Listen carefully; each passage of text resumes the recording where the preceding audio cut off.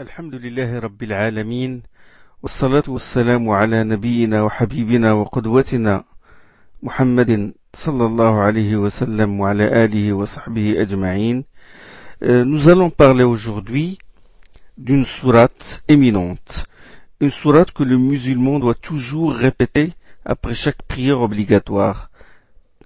Quand il va au lit aussi, quand il est menacé, euh, contre le mauvais œil, contre l'envie et la jalousie, euh, dans, dans la ruqya, c'est-à-dire dans la, l'incantation. Cette sourate est la sourate al-falaq, la sourate l'aube naissance, l'aube naissante. Le falaq, le falaq a d'autres sens comme nous le verrons, Inch'Allah. Euh, cette sourate avec celle qui la suit, à savoir la sourate les hommes, sourate al-Nas, sont appelées al-mu'awwidhatayn. Al-mu'awwidhatayn, les deux sourates prophylactiques, ou deux sourates protectrices. Euh, Ibn al-Qayyim a dit à propos de ces deux sourates, Ibn al-Qayyim a consacré une grande partie de son livre Bada'i al-Fawaid à ces deux sourates. Il a dit, il a dit, وأن لهما تأثيرا خاصا في دفع السحر والعين وسائر الشرور. Il a dit qu'elles ont un effet extraordinaire dans l'annihilation de la sorcellerie, du mauvais œil, du mauvais œil et de l'ensemble des méfaits. وأن حاجة العبد إلى الاستعاذة بهاتين السورتين أعظم من حاجته إلى النفس والطعام والشراب إلى إلى النفس والطعام والشراب. Il a dit que le besoin, le besoin du serviteur de prendre refuge en Allah en prononçant ces deux sourates, c'est plus nécessaire que son besoin de respirer, de manger, de, de, boire et de s'habiller. C'est une sourate très importante. Euh, qu'est-ce qu'a dit le professeur à Uqba ibn Amir?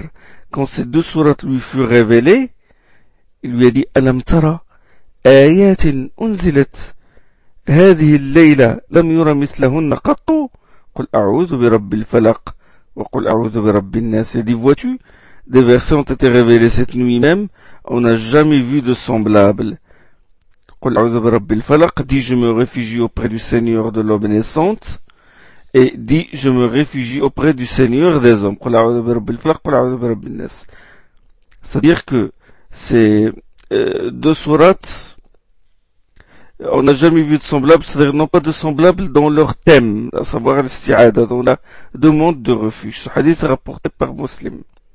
Bon, comme toute sourate du Coran, euh, la, la sourate al-Falaq est liée à la sourate qui la précède, et elle est liée à la sourate qui la suit.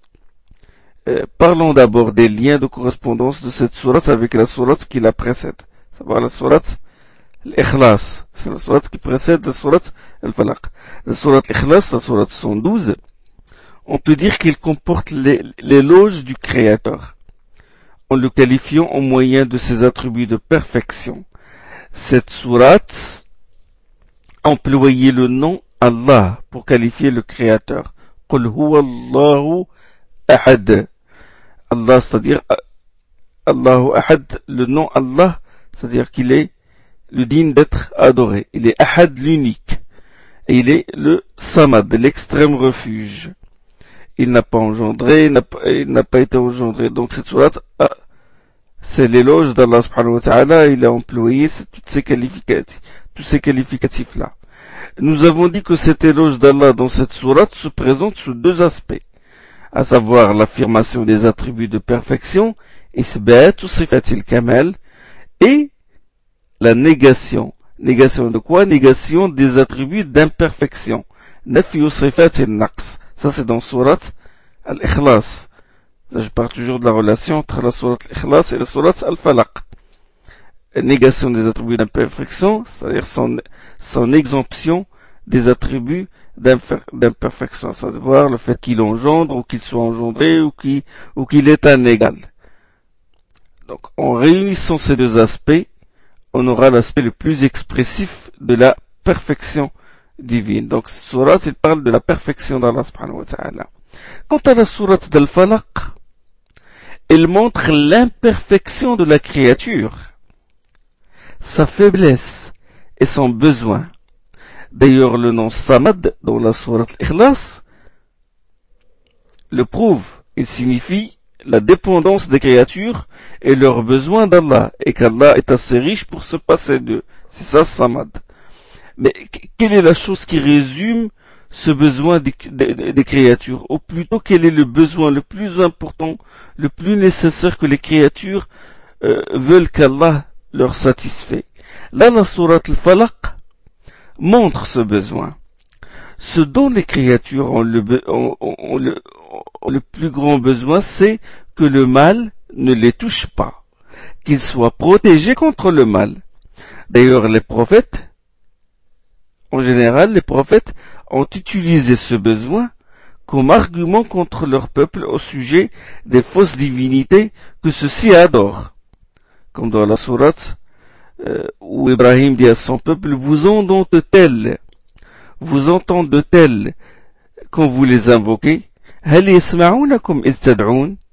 vous sont-elles utiles ou, peuvent-elles vous nuire أو ينفعونكم أو يضرون dans surat Shu'ara dans un autre verset قل أتعبدون من دون الله ما لا يملك لكم ضرا ولا نفعا dit adorez-vous en deçà d'Allah ce qui, ce qui ne peut ni vous nuire ni vous être utile Wallahu wa alim et alors que c'est Allah qui est l'audient, le très savant, comme a dit Allah surat Al-Ma'ida surat 5. Donc les, les, envoyés, les prophètes, ils ont, ils ont, ils ont utilisé cette notion euh, comme argument contre les mécréants, contre les associateurs.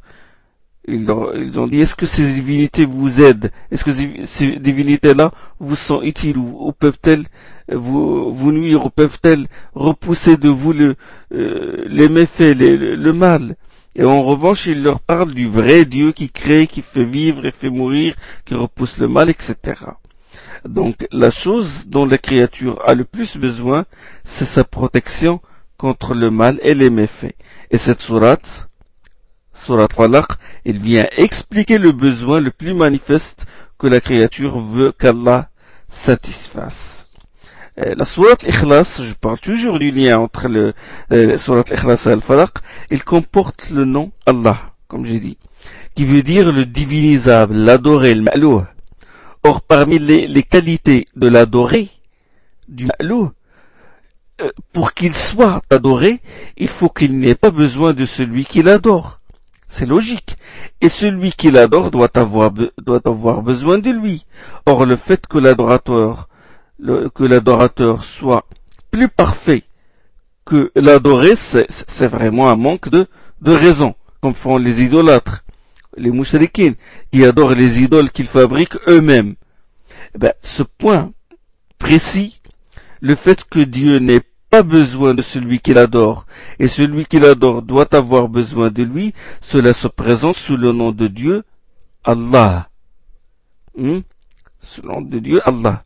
Dans la sourate l'Ikhlas, les autres attributs, le, le, sens des autres versets convergent vers ce point. Il l'explique et il, il, le prouve.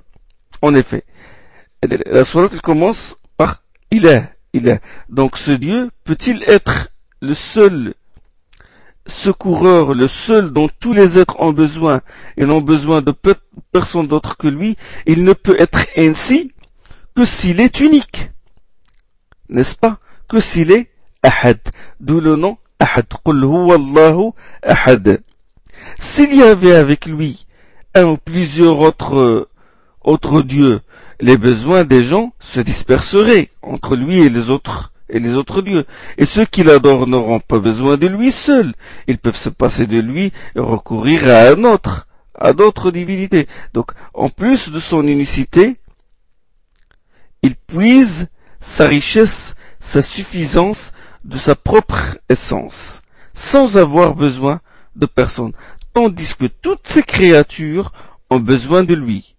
Ça, c'est le sens de son nom Samad, d'où le nom Samad.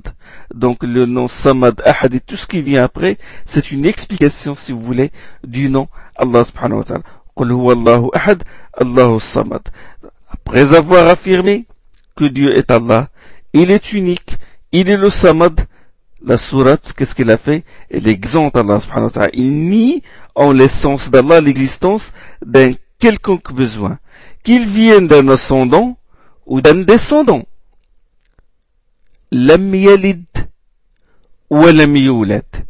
Il n'a pas engendré et il n'a pas été engendré. Puis la sourate conclut avec le verset de synthèse, sourate Ikhlas, il, il, a conclu avec le verset de synthèse qui nie que quelqu'un soit l'équivalent d'Allah à n'importe quel point de vue, nul n'est égal à lui. D'après tout ce que nous venons de dire au sujet de la perfection d'Allah dans la sourate Ikhlas, nous constatons, nous constatons que la sourate Al-Falaq est comme une implication morale, comme une exigence et une conséquence logique de la sourate Al-Ikhlas. C'est comme si la sourate Al-Ikhlas justifie ce qu'il y a dans la sourate Al-Falaq. Comment cela? Ben écoutez, si Allah est de cette transcendance et de cette perfection décrite dans la sourate Al-Ikhlas, les gens doivent l'adorer parce qu'il est le seul qui puisse repousser le mal d'eux. Ils doivent donc recourir à lui et dire je me réfugie auprès du Seigneur du Falak. Ça, c'est un lien entre la sourate et la sourate al-Falaq. Un autre lien, suivez bien. La sourate al-Ikhlas, elle résume l'affaire qui fait l'objet de conflits entre les prophètes et les peuples auxquels ils étaient envoyés. L'affaire à cause de laquelle les prophètes avaient souffert. Ça veut dire le tawhid, l'ikhlas, le monothéisme pur qu'il est Dieu, qu'il est unique, qu'il le Samad, il n'a besoin de personne, qui n'a pas engendré, qui n'a pas été aujourd'hui euh, engendré, et que nul n'est égal à lui, et que toutes les adorations doivent être adressées à lui seul. Donc c'est ça qui fait l'objet du conflit entre les prophètes et leur peuple. D'ailleurs, tout prédicateur, tout derrière qui appelle au tawhid, au tawhid pur, au vrai tawhid, doit s'attendre à des épreuves. Jusqu'à aujourd'hui, jusqu'à notre siècle, le monothéisme pur et la consécration de l'adoration à Allah, il anéantit toutes les fausses croyances, toutes les doctrines déviées, il anéantit le matérialisme, euh, le mouahid, il refuse toutes sortes d'associations, toutes sortes de shirk, comme il refuse d'invoquer un autre qu'Allah ou de sacrifier pour une idole ou un wali dans sa tombe ou sacrifier pour les djinns.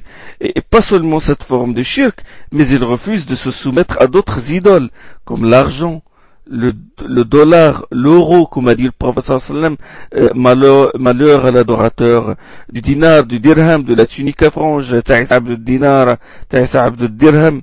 Euh, il refuse, le muahid, il refuse d'être réduit à un simple consommateur, hein, comme euh, vivre pour manger. Hein. Vivre pour manger n'est pas la devise d'un mouahid, d'un vrai croyant, mais sa devise est vivre pour adorer Allah. Les consommateurs, disent-ils, on les appelle, on les appelle même pas les gens, les hommes, des êtres humains, mais des consommateurs, des mangeurs.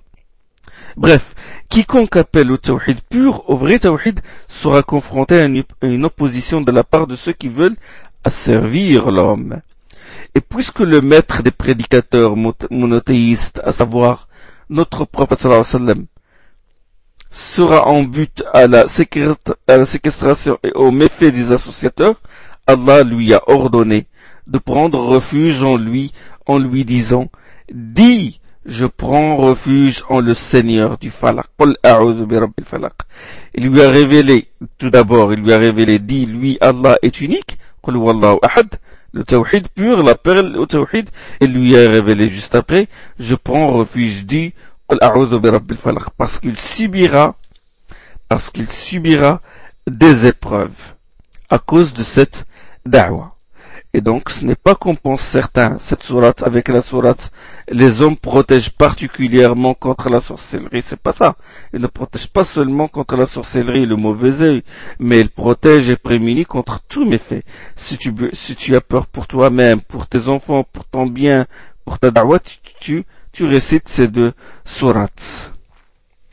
Passons maintenant à la relation entre le début de cette sourate et sa fin. Euh, cette sourate, comme vous le constatez, chers frères, chères sœurs, a commencé par l'ordre de prendre refuge en Allah contre tout méfait et tout mal. Il a commencé par cet ordre. De prendre refuge en Allah, billah, contre shurur, contre tout mal, en invoquant un, un attribut particulier d'Allah, à savoir le Seigneur du Falaq. Et il a conclu par un mal très grave qui réunit deux mauvaises qualités. La volonté de nuire à une créature et l'impolitesse à l'égard du Créateur. Ce mal-là, c'est al-hasad, l'envie. C'est le fait d'espérer que l'homme qui jouit d'un bienfait en soit privé pour en jouir à sa place. Ou le fait, et là c'est pire encore, le fait d'espérer la disparition d'un bienfait dont jouit quelqu'un, même si on ne veut pas en jouir à sa place. Ça, c'est la pire forme du hasad. L'envieux, qu'est-ce qu'il cherche? Il cherche à nuire à la personne qui l'envie. Et il manifeste son courroux à l'égard de la décision d'Allah, son opposition à son partage et à sa sagesse. Donc c'est une double, un double fléau. Hmm? C'est l'envie de nuire et en même temps le fait de s'opposer au décret d'Allah et sa décision. Euh, donc cette sourate, il a commencé par la recherche de protection contre tout mal. contre tout mal. Hmm? Et elle s'est conclue par la demande de protection contre un mal très grave, très répandu, à savoir le hasad l'envie. D'ailleurs, l'envie, l'envieux, le hassid, il fait du mal à lui-même avant qu'il ne le fasse à autrui. Il nuit à sa, à, sa propre personne. Il souffre, il, il, se, il tourmente son âme pour une chose sur laquelle il n'a aucun pouvoir. Il se dit pourquoi un tel jouit de telle faveur et pas moi, et il, il ressasse ce genre de questions jusqu'à devenir malade. Il est toujours triste. Ben, qu'est-ce qu'il y a qu'est-ce qui a causé le bannissement de Satan, de, de, de Iblis, si ce n'est le, hasad, l'envie. Hein? Il a envié Adam. Quand Allah il a demandé, il a ordonné aux anges de se prosterner devant Adam, ben lui, il a envié Adam. Il dit, je suis supérieur à lui. Hein? L'orgueil et le hasad. Pour, pour, pour que vous soyez conscient sur le, de, de, de, la gravité de l'envie.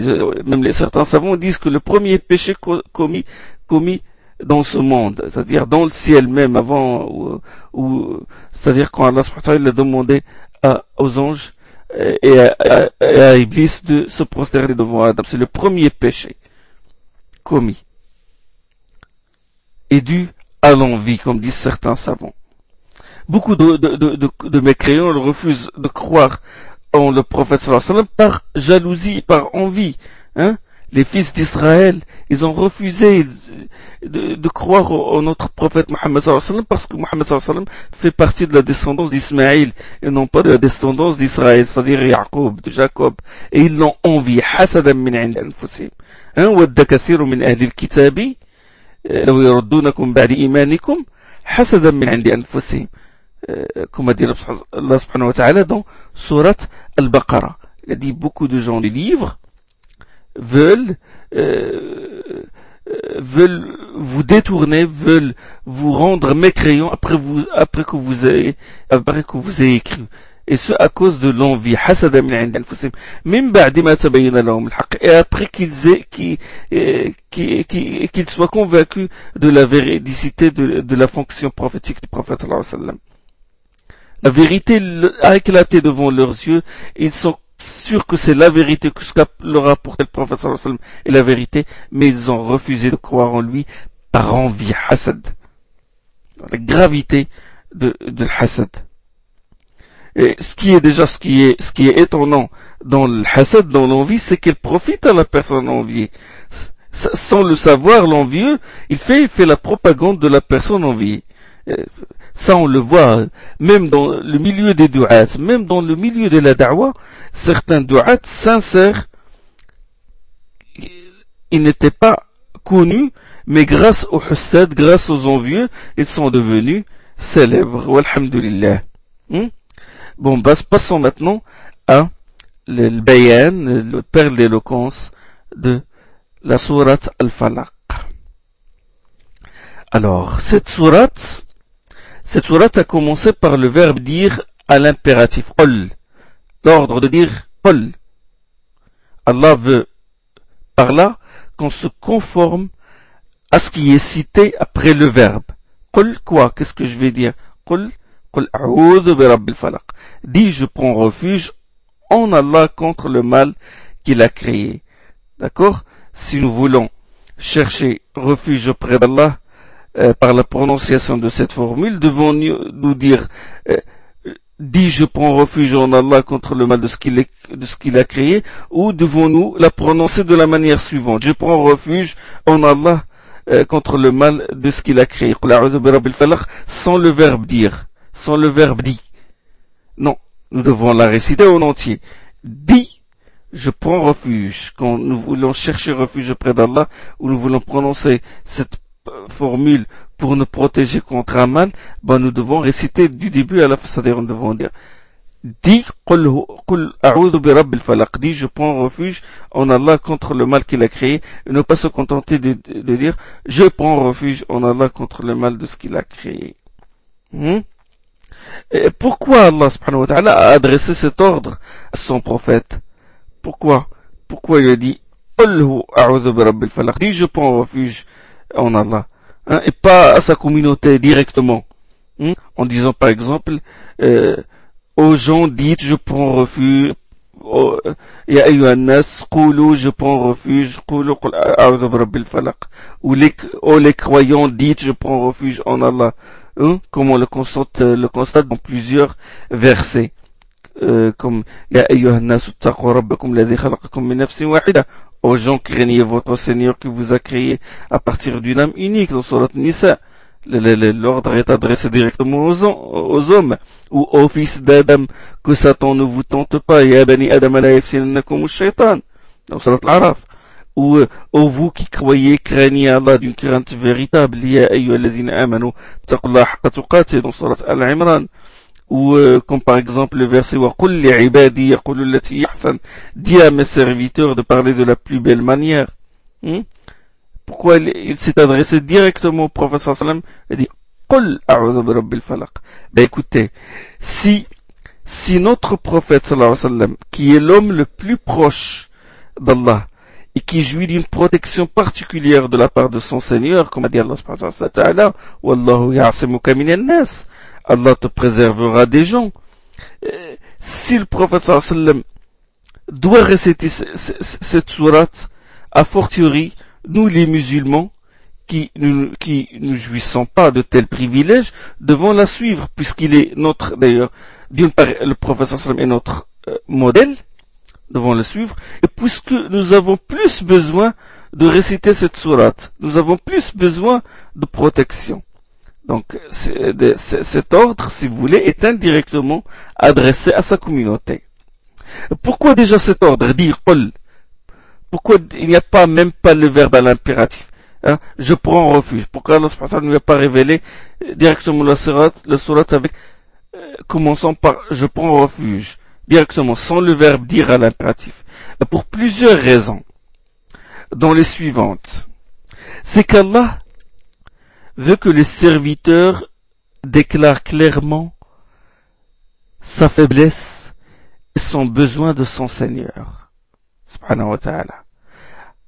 Il déclare clairement sa faiblesse et son besoin de son Seigneur, afin qu'Allah l'aide et le sauve de ce qu'il redoute. Le serviteur ne doit pas se contenter de raviver dans son cœur le sentiment de besoin et d'indigence à l'égard de son Seigneur. Il faut, il faut qu'il exprime ce besoin. Il faut qu'il exprime et déclare qu'il recourt à Allah et qu'il cherche refuge auprès de lui. Il faut qu'il reconnaisse verbalement qu'il est trop faible pour pouvoir repousser tout ce qui le menace ou tous les méfaits. Car il existe des méfaits, des mots qu'il est incapable de repousser. Les mots subtils. Hein. Donc s'il ne prend pas refuge en Allah, il risque de tomber victime de ces mots. Donc cette déclaration de besoin de son Seigneur et d'indigence à son, égard, qu'est-ce qu'elle fait? Elle combat l'orgueil. Il combat la fatuité, la prétention et la suffisance. Ces fléaux-là sont la cause de, de, de l'insolence la, et de la rébellion. Allah subhanahu wa ta'ala dit Assurément, l'homme se rebelle dès qu'il voit qu'il peut se suffire à lui-même. Comme a dit dans Surah. Euh, l'orgueil empêche certaines personnes euh, de demander de l'aide malgré leurs besoins. Ça, c'est d'une part. C'est une raison. Autre raison, c'est que cette déclaration, il inspire l'obéissance. En déclarant chercher refuge auprès d'Allah, cela nous inspire de lui obéir. Comme vous le savez, quand on se, se réfugie chez quelqu'un et qu'on lui demande protection, on ne lui désobéit pas. Euh, autre raison, c'est que cette déclaration, elle, elle attendrit le cœur. Elle attendrit le cœur et le rend humble à l'égard de son Seigneur, surtout si elle est accompagnée du sentiment de besoin d'Allah. L'isti'ada, c'est quoi l'isti'ada C'est une formule de zikr. Quand je dis là je fais l'isti'ada. C'est une recherche de refuge. Et c'est une formule de dhikr au même titre que le tasbih, que l'exaltation de la transcendance d'Allah, au même titre que la louange, le tahmid ou le takbir. Or le dhikr, le dhikr ne consiste pas seulement en un sentiment du cœur ou euh, une extase intérieure. Il faut que le cœur et la langue participent au dhikr. Je prononce le dhikr et mon cœur médite ce dhikr-là il fait acte de présence et réagit à ce dhikr. Qu'est-ce que dit Allah subhanahu wa ta'ala dans le hadith divin, hadith qudsi أنا مع عبدي حيث حيثما ذكرني وتحركت وتحركت بي شفتاه. Je suis auprès de mon serviteur tant qu'il m'invoque et que ses lèvres remuent en m'invoquant. Hmm? Donc, euh, c'est donc il faut le déclarer, il faut le prononcer. Euh, pourquoi, autre question, pourquoi je prends refuge en le Seigneur du Falak, et non pas, inni Falak pourquoi la sourate a commencé comme, comme ça? Et il n'a pas commencé par inni Au lieu de dit je prends refuge en le Seigneur du Falak, dit assurément, je traduis, on va traduire inni par assurément. Assurément, je prends refuge en le Seigneur du Falak. Inni, c'est un adverbe affirmatif ou confirmatif qui ajoute de l'énergie à la proposition. Hmm? Hein? C'est comme quand je dis par exemple, Zaydun qa'imun. Zaydun se tient debout si je veux affirmer la chose d'une manière énergique, je dis inna zaydan qa'imu. Inna, j'ajoute le inna, l'adverbe, la particule qui renforce. C'est un intensif. Zayd est certainement debout. Là, j'ajoute de l'énergie à la phrase. Zayd est certainement debout. C'est-à-dire, et si je veux ajouter encore d'une manière encore plus énergique, je dirais inna zaydan la. C'est-à-dire, en plus de inna, j'ai ajouté le L, le lem, la qa'imu. Donc, zaydun qa'imu, plus d'intensité, inna zaydan qa'imu, inna. Hmm? Plus d'énergie encore, inna zaydan la qa'imu. J'ai ajouté le inna et le lam. Alors, euh, donc là, il y a l'adverbe inna, auquel est attaché la, fixe i prenons à la première personne du singulier. Inni a'udhu bi rabbil falaq.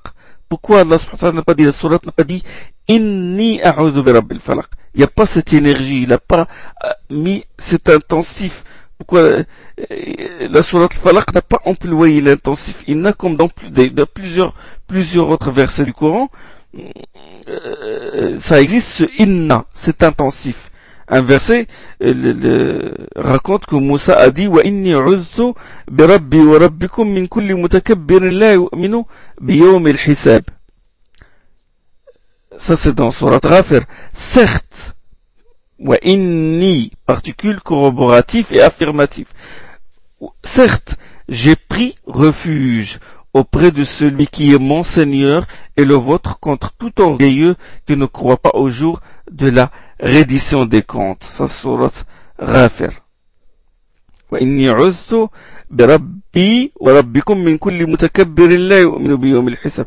Dans une autre sourate aussi, où l'isti'ada a commencé par inni, par l'intensif inni, وإني عذت بربي وربكم أن ترجمون. Moussa dit dans un autre verset, je me réfugie, de, je me suis certes réfugié auprès de mon Seigneur qui est le vôtre, afin de vous empêcher de me lapider. Ça c'est dans sourate euh, Dukhan. Ça c'est dans euh, Surat Dukhan, dans le verset 20. Il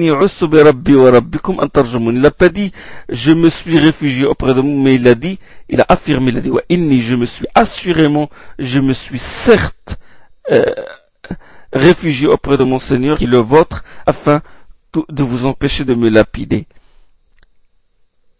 Dans un autre surat, قال ربي إني أعوذ بك أن أسألك ما ليس لك به ما ليس لي به علم قال ربي إني أعوذ بك أن أسألك ما ليس لي به علم هود هود dans surat Hud Nuh a dit Noé a dit Seigneur je cherche certes certes refuge auprès de toi contre toute idée de te solliciter sur, sur ce dont je n'ai pas connaissance. Il n'a pas dit mais il a ajouté l'intensif inni que j'ai traduit par certes, assurément. Hmm?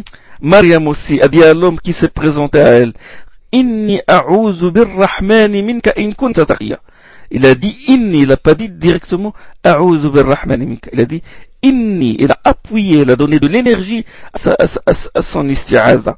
Je prends certes refuge auprès du tout miséricordieux contre toi pour peu que tu le craignes ou pour euh, que tu sois euh, impieux. Ça c'est dans Surat Maryam. la femme de Imran, la mère de Maryam, quand elle a donné naissance à Maryam, qu'est-ce qu'il a dit? Il a dit je la mets, je la mets certes sous ta protection, elle et sa descendance contre Satan, le comme Allah dans Surat Al-Imran. Donc tous ces versets, où tous ces recours à Allah sont renforcés par la particule affirmative, inna, inni, ce qui n'est pas le cas de la Surat Al-Falaq. La Surat Al-Falaq, c'est qul a'udhu, c'est pas qul inni a'udhu. Il n'y a pas d'intensif. Ou dans un autre verset, où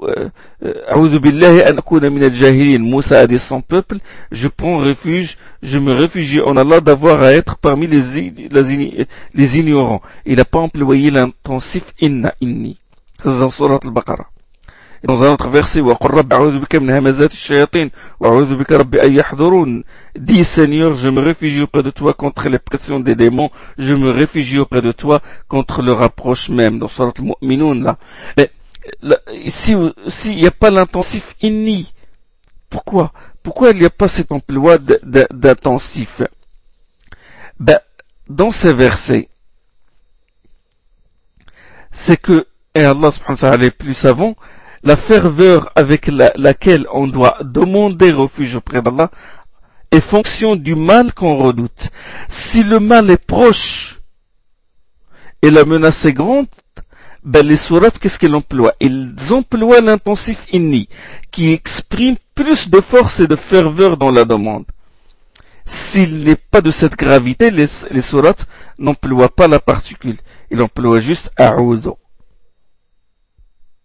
Il emploie juste il n'emploie pas inni.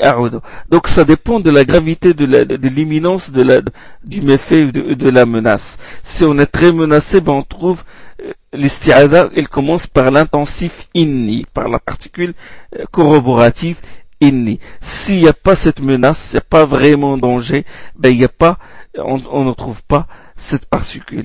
Euh, dans le verset, dans le premier verset, celui de la Surah Rafir, la demande de refuge, est renforcée par la particule inni wa inni rabbi wa rabbikum min kulli hisab, a dit Moussa alayhi salam. J'ai pris en effet, j'ai pris certainement euh, refuge auprès de celui qui est mon Seigneur et le vôtre contre tout orgueilleux qui refuse de croire en le jour de la reddition des comptes. Moussa a fait cette demande avec ferveur. Hmm? il a employé l'intensif inni. Hmm? Pourquoi Parce que Pharaon l'a menacé de mort. Hmm? Lisez le verset qui précède ce verset-là. وقال فرعون ذروني أقتل موسى وليدعو ربه إني أخاف أن يبدل دينكم أو أن يظهر أو أن يظهر في الأرض الفساد. Laissez-moi tuer Moussa, a dit Pharaon. Il peut bien invoquer son Seigneur. Je crains qu'il n'altère votre religion ou qu'il ne fasse apparaître la corruption sur terre. Donc il y a menace de mort. C'est pourquoi Moussa a employé l'intensif inni. Inni bi rabbi wa rabbikum kulli mutakabbir. Hmm? Il convient que Moussa emploie la protection d'Allah avec plus de force de fait et de ferveur. De même que Moussa a dit wa inni euh, euh, wa inni euh, bi rabbi wa rabbikum antarjumun dans Surat Dukhan, je me suis certes réfugié auprès de mon Seigneur afin de vous empêcher de me lapider. Là, il l'a menacé, il l'a menacé de lapidation. Il convient d'employer l'intensif inni wa inni rabbi wa. Inni. Là aussi. Donc, ils étaient nombreux et lui était seul. Euh, en plus, il, était la seule personne menacée. Donc, il parle de lui-même. Il dit inni rabbi wa rabbikum. De même, l'isti'ada de Maryam la demande de protection de Mariam quand il vit l'homme. Hein euh, elle se trouvait dans un même endroit, elle se trouvait avec cet homme-là dans un même endroit, et c'est un endroit isolé, loin des siens, et, elle était là seule, elle était seule. Et là, qu'est-ce qu'elle a dit? Euh, Il a dit, Inni in kunta Sawiya, quand Allah subhanahu lui a envoyé l'ange, c'était un ange finalement. Sawiya, nous lui envoyâmes notre esprit, c'est-à-dire l'ange, l'ange Jibril, qui se présenta à elle sous la forme d'un homme bien fait, un homme parfait dans sa taille et sa beauté. Hein? Donc il y a cet endroit, quel est lui? Il eut peur qu'il la sollicite de sa personne, il eut peur qu'il l'agresse, et il eut peur pour sa chasteté, et il recourut, il recourut avec ferveur, Allah subhanahu wa ta'ala dit Inni a'udhu minka in kunta taqiyya. Hein, je prends fervement, je, certainement, je prends refuge auprès du tout miséricordieux contre toi pour peu que tu le craignes. Hein? Pour peu que tu le craignes. Et méditez comment il a employé le nom Rahman sans les autres noms d'Allah. Il a demandé refuge au tout miséricordieux pour qu'il lui fasse miséricorde et la protège d'une éventuelle agression qui conduit bien sûr au déshonneur et au scandale. Donc il a employé le nom Rahman pour susciter le sentiment de miséricorde et de pitié dans le cœur de l'homme qui, se trouvait en face d'elle, enfin qu'il ait pitié d'elle et la laisse tranquille. Donc l'emploi le, du nom Rahman est pertinent dans ce verset et dans cette isti'ada. Hmm? Il y a une autre raison de l'emploi du nom euh, Rahman, nous, la, nous en parlerons, inshallah, la prochaine fois. Subhanakallah, bihamdik, shadu la ilaha illa anta astaghfiruka wa atubu ilayk.